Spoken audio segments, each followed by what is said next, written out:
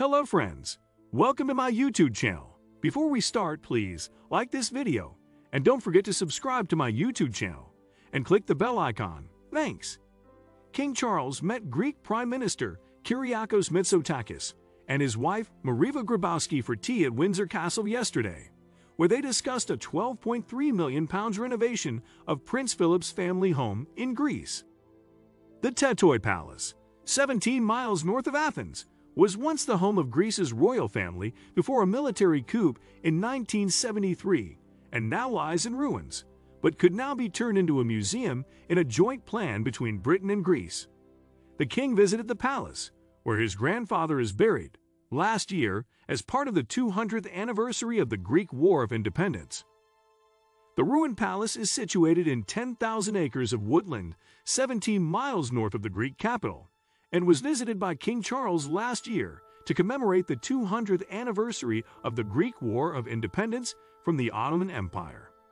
The plan is to turn Tatoi into a museum and has been described as a labor of love for the king.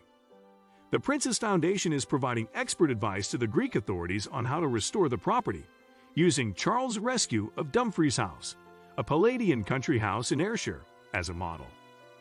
A spokesman for King Constantine, the last king of Greece, said they want to use it as an example of best practice. King Constantine was exiled for almost 40 years after his country voted to become a republic. However, he was able to keep the palace as his private property until it was confiscated by the state in 1994. The king's role in restoring Dumfries House will be celebrated in the ITV documentary A Royal Grand Design, which will air on Tuesday at 9 p.m.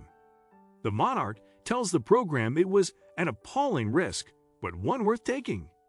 He added, I wanted to rescue the house because it is of such importance. I knew it was a very deprived area. I wanted to use it as a proper example of what I've always believed in heritage led regeneration. If we hadn't stepped in, somebody would have bought it and said they had a great idea, you know, for golf courses, and it would never have worked, so it would have joined the list of yet more derelict country houses. The 2,500 year old marbles were taken from the Parthenon between 1801 and 1812 by Lord Elgin, ambassador to the Ottoman Empire. The Greeks say they were stolen, but the British Museum Act 1963 prevents ownership of artifacts being transferred from the museum. Speaking in October, Mr. Mitsotakis told the Sunday Times he had a good personal relationship with King Charles and believes he is supportive. The king, he said, has a Greek heritage which he values and cherishes, adding, I think the mood is changing in the UK. It has emerged that Greek businessman John Lefis, 71, is investing millions to fly British MPs to Athens to lobby them to overturn UK law and allow the marbles return. So what do you think about this news, guys? Please, share your personal opinion with us in the comments section below. Thank you.